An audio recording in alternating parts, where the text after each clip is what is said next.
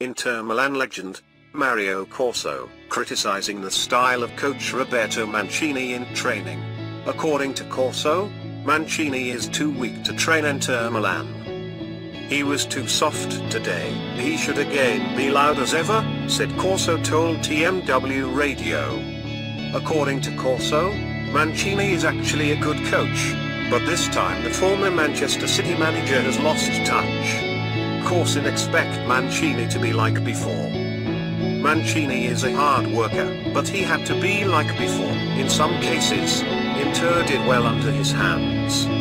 In this season, the club was nicknamed the Nerazzurri only able entrenched in fourth in the standings.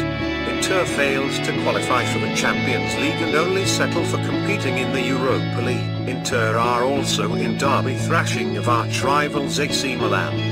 In the match that was held February 1st, Inter overpowered